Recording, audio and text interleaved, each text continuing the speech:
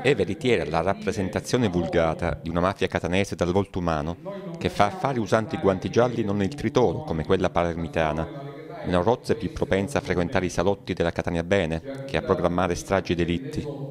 Se lo chiede il magistrato Sebastiano Ardita, procuratore aggiunto di Messina, nel suo libro Catania Bene, in cui, ripercorrendo la storia di un modello mafioso fondato sulla strategia dell'inabissamento e delle collusioni che è diventato dominante, smonta il ritratto buonista e rassicurante che solitamente si ha della mafia etnea, non meno adusa al crimine di quella corleonese e semmai anticipatrice della linea ambigua della trattativa sommersa, delle oscure protezioni e perversi intrecci con settori deviati delle istituzioni.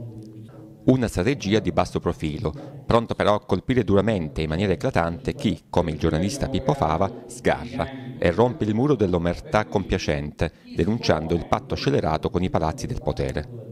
Il libro è stato presentato giovedì 26 novembre nel salone di rappresentanza Mario Scelba del municipio di Caltagirone, su iniziativa della Confcommercio Calatina e dell'Associazione Antiracket e Antiusura del Calatino Francesco Borzi. Ai lavori, moderati dal giornalista Mariano Messineo, sono intervenuti, oltre ad autori, i presidenti delle due associazioni Rosario Bruno e Felice Trovato. Dottor Ardita, Palermo, Catania, Riina, Santa Paola, una mafia o due mafie? Cioè, due modi diversi di intendere lo stesso fenomeno che è un fenomeno tradizionalista, ermetico, riservato, capace di svolgere due funzioni che possono sembrare differenti ma in realtà esprimono la voglia di affermare potere, un potere militare che arriva fino allo scontro con lo Stato come avviene per i corleonesi, un potere economico e finanziario che ha tutto l'interesse a tenersi buone le istituzioni come avviene a Catania nella realtà di Cosa Nostra Catanese. L'omicidio di eh, Fava a Catania rappresenta un punto eh, di svolta o è semplicemente un nuovo diciamo, percorso della mafia? No, è un punto di non ritorno perché Favar è l'uomo che denuncia il patto tra gli uomini della mafia e i poteri forti, le istituzioni, la finanza, la politica. Eh, dunque il potere che comanda a Catania non può accettare che si dica che Fava è morto per le sue denunce. Ecco perché si cerca di mistificare e di far credere che la sua morte sia diversa, abbia un'origine diversa.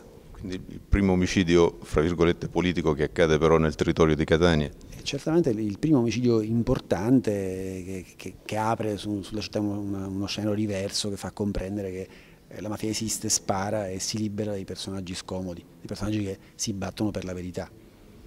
Lei parla di mafia 2.0, a che cosa si riferisce? Al fatto che dopo tanti anni di attività illecite e di guadagni illeciti se una parte di questi denari è stata spesa per i consumi degli affiliati, un'altra parte evidentemente viene investita in qualche modo e occorre capire dove e come.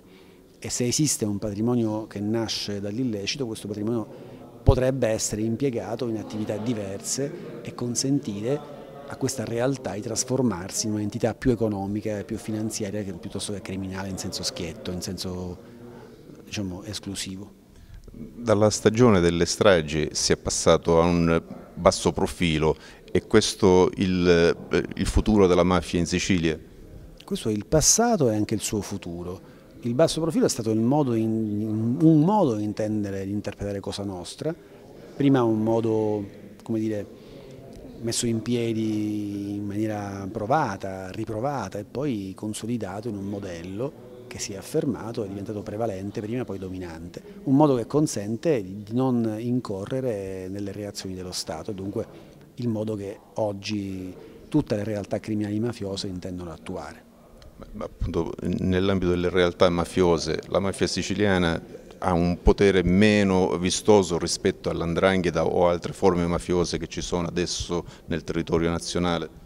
Diciamo che l'andrangheta eh, si è mh, più eh, di altre esportata al nord, ha fatto quello che negli anni Ottanta fecero i catanesi a Torino e a Milano. Eh, ma è chiaro che eh, la visibilità di questi fenomeni oggi è legata anche alla capacità di espansione economica. L'andrangheta ha fatto più investimenti anche in termini eh, diciamo, di, di, di, attività di commercio di stupefacenti, per esempio, e ha avuto più emigrazioni al nord, ma questo era già accaduto nella storia della criminalità catanese. Sono modelli di comportamento che si riproducono, che ritornano negli anni e hanno tutte un comune denominatore, il fatto di non essere visibili, perché più visibili sono, questi fenomeni più vengono contrastati. in questo senso dico, anche eh, la latitanza diciamo, ancora di papaveri rossi all'interno della mafia segna proprio questo passaggio. La latitanza è uno degli aspetti che connotano una capacità criminale diciamo, di interlocuzione con, con, con, soggetti vari, perché la latitanza costa, comporta alleanze, eh, rapporti eh, anche di un certo tipo e probabilmente anche coperture istituzionali in qualche caso. È un segnale la latitanza.